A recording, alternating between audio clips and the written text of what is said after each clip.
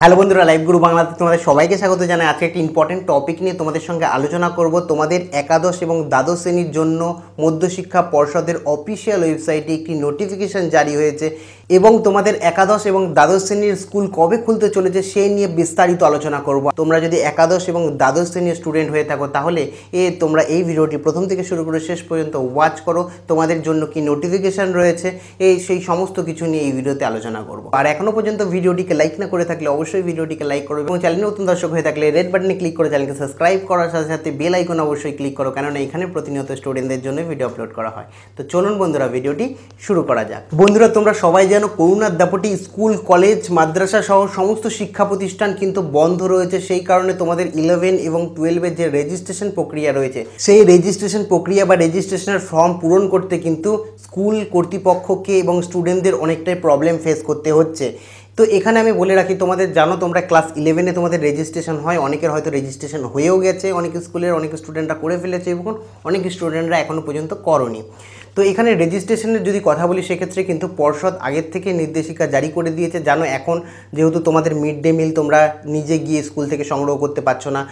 অভিভাবকদের যেতে হচ্ছে সংগ্রহ করতে এবং নিজে কোনো স্কুল থেকে কোনো ভর্তির প্রক্রিয়া বা অন্য কিছু যদি থাকে, সেক্ষেত্রে কী হচ্ছে, তোমরা যাচ্ছ না, কী হচ্ছে প্যারেন্টসরা যাচ্ছে, তোমাদের যেতে হচ্ছে না।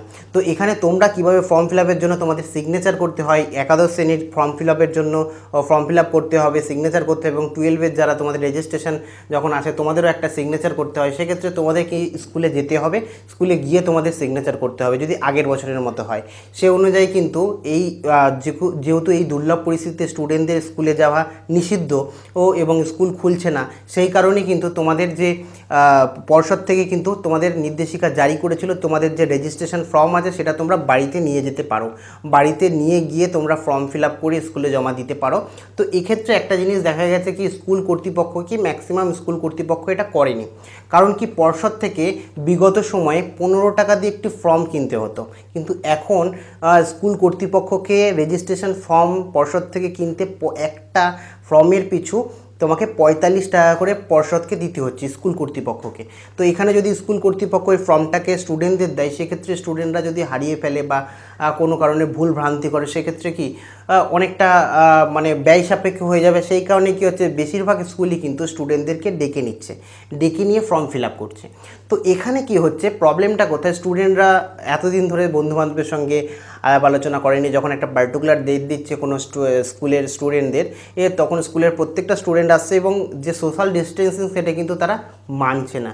না মেনে কী হচ্ছে তারা বন্ধুবান্ধবের সঙ্গে সোশ্যাল ডিস্টেন্সিং ছাড়াই কী হচ্ছে জানো যেটা হয় স্টুডেন্টদের মধ্যে যেটা হয় অনেক দিন পর বন্ধুবান্ধবের সঙ্গে দেখা হচ্ছে সোশ্যাল ডিস্টেন্সিং বা কোভিডের কথা কিন্তু তাদের মাথায় থাকছে না। তো এ নিয়ে বেশিরভাগ স্কুলের শিক্ষক, শিক্ষিকাদের মতামত সংসদ থেকে যদি আগের থেকে একটা বিজ্ঞপ্তি প্রকাশ করতো ডাইরেক্ট যে রেজিস্ট্রেশন ফর্ম রয়েছে সেটা স্কুলে না এসে ডাইরেক্ট অভিভাবকদের কাছে চলে যাবে, সেক্ষেত্রে স্টুডেন্টদের ফর্ম ফিল করতে অনেকটা সুবিধা হতো। এক্ষেত্রে তোমাদের প্রত্যেকটা স্টুডেন্টকে একটা বিষয়ে বলে রাখি, যারা একাদশ এবং দ্বাদশ শ্রেণীতে পড়ছো, যাদের এখনও পর্যন্ত রেজিস্ট্রেশন হয়নি, তোমরা কিন্তু অবশ্যই রেজিস্ট্রেশন করে নাও। কারণ তোমাদের রেজিস্ট্রেশন প্রক্রিয়া কিন্তু আর বেশি সময় নেই। তোমাদের পনেরো তারিখের মধ্যে তোমাদের স্কুলে গিয়ে তোমাদের রেজিস্ট্রেশন যাদের বাকি আছে, তোমরা কিন্তু সবার আগে রেজিস্ট্রেশন করে নেবে। এবং যাদের রেজিস্ট্রেশন হয়ে গেছে, অবশ্যই তোমরা কমেন্ট সেকশনে লিখবে। এবং যারা এখনও পর্যন্ত টেনে কমপ্লিট টেন কমপ্লিট করেছ ইলেভেনে ভর্তি হওনি, তাদের ক্ষেত্রে বলে রাখি, তোমাদের পনেরো তারিখেই কিন্তু লাস্ট ডেট মানে পনেরোই অক্টোবরই কিন্তু লাস্ট ডেট ইলেভেনে ভর্তি হওয়ার। যারা এখনও ভর্তি হওনি, তারা যে কোনো স্কুলে গিয়ে কিন্তু এখনও ভর্তি হতে পারো। পনেরো তারিখ পর্যন্ত তোমাদের লাস্ট ডেট রয়েছে ভর্তি হওয়ার।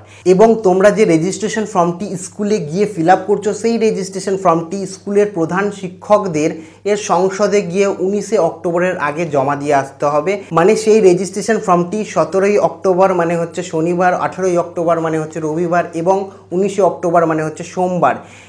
এই তিন দিন তোমাদের পর্ষদের এ জমা দেবে রেজিস্ট্রেশন ফর্মগুলো প্রধান শিক্ষকেরা।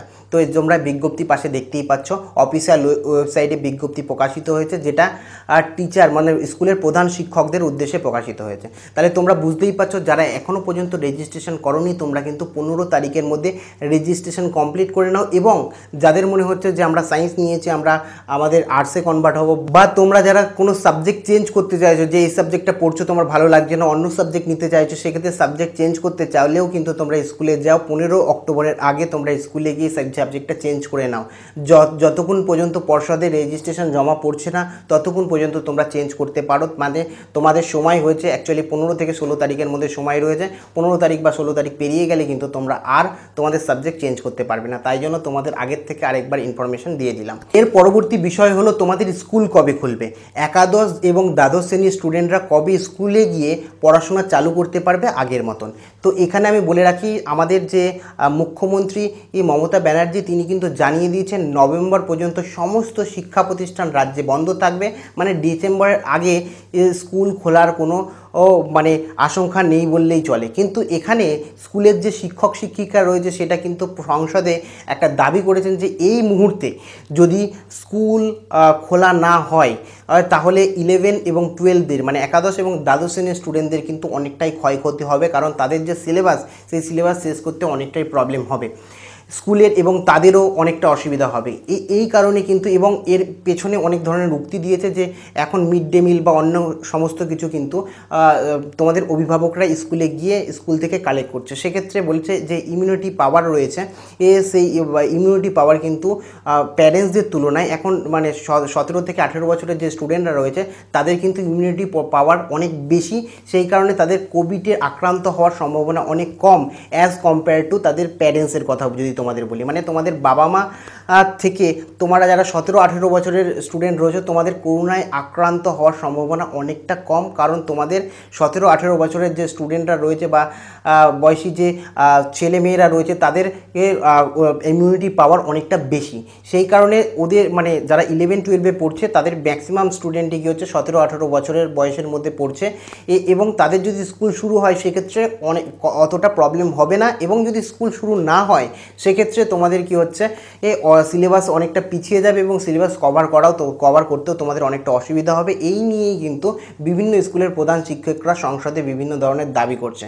আর এই মুহূর্তে যা ইনফরমেশন পাওয়া যাচ্ছে, সে থেকে জানা যাচ্ছে যখনই তোমাদের স্কুল খুলুক না কেন সবার প্রথমে তোমাদের একাদশ এবং দ্বাদশ শ্রেণির স্টুডেন্টরা দের পঠন পাঠন চালু হবে। মানে তোমরা সবার প্রথমে এই স্কুল যখনই খুলবে, সবার প্রথমে একাদশ এবং দ্বাদশ শ্রেণির স্টুডেন্টরা স্কুলে যাবে। তারপরে ধীরে ধীরে অন্যান্য ক্লাস খোলা হবে। কারণটা তোমাদের সকলকে বলেই দিলাম, সতেরো আঠেরো বছর বয়সী ছেলে মেয়েদের কোভিডে আক্রান্ত হওয়ার সম্ভাবনা অন্যান্য বয়সী স্টুডেন্টদের তুলনায় অনেকটাই কম। সেই কারণে তোমাদের একাদশ এবং দ্বাদশ শ্রেণির স্টুডেন্টদের কিন্তু সবার প্রথমে স্কুল চালু হবে, তারপরে অন্যান্য ক্লাসের স্টুডেন্টদের স্কুল চালু হবে। তো এটাই তোমাদের জানানো ছিল। যারা এখনও পর্যন্ত রেজিস্ট্রেশন করোনি, তারা অবশ্যই রেজিস্ট্রেশন করে নাও স্কুলে গিয়ে, কারণ তোমাদের আর বেশি সময় নেই। আর কারা কারা রেজিস্ট্রেশন করে ফেলেছো এবং তোমাদের স্কুল খোলা নিয়ে কি মতামত রয়েছে, কতটা তোমাদের সিলেবাস শেষ রয়েছে, আর তোমাদের সিলেবাস কতটা কমপ্লিট হয়েছে এবং সিলেবাস কমপ্লিট করতে তোমাদের কতটা অসুবিধা হচ্ছে তোমরা কমেন্ট সেকশনে কমেন্ট করতে পারো। আর এখনও পর্যন্ত ভিডিওটিকে শেয়ার না করে থাকলে অবশ্যই ভিডিওটিকে শেয়ার করে। তো আজকের মতো এইটুকুই, আবার দেখা হচ্ছে অন্য কোনো ভিডিওতে টেক কেয়ার বাই বাই